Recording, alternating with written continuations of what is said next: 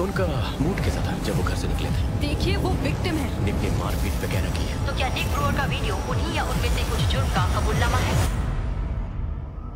तुम हमसे क्या छिपा रहे हो?